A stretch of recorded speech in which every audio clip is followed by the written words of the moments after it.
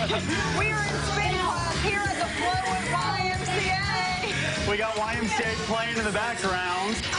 This is one of my favorite workouts. Incredible cardio. And it happens really quick. I've only been on this bike stage for like three I minutes. I feel the burn. I'm already feeling it. Sure. And Jacob, we're going to be feeling the burn later this afternoon for sure. I know, and I will say our crew I do want to get a check here of your final weather. As you're heading out the door this morning with the Flowood YMCA, here's Rankin County. Temperature sitting in those low to middle 70s. Very muggy, some patchy fog. And this afternoon, we're going to be in the mid-90s. So here we go. CA. And as we look at the heat index for today, we're going to be heating up really quickly. Feeling like 104 this afternoon, just below heat advisory criteria. Hold on, we got to pause it here. And for your weekend forecast, low 90s, scattered storms likely. And here's the eight day. We're going to continue the summertime pattern, low 90s next week with scattered storms.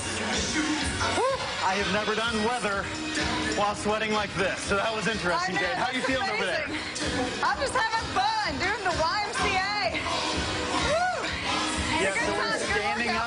The bike. So there's different positions on a spin bike. You have your normal riding position here.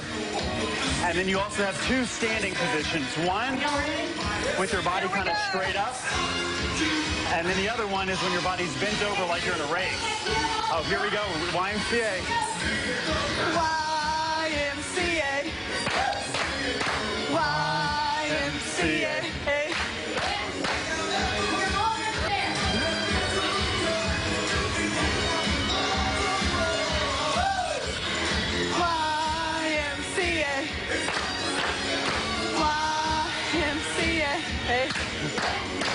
Okay, so we're having fun here at Spin Class. We're going to be back. There's even more workouts to do. Stay tuned to the morning sip. We'll be back from the Flowood YMCA right after this.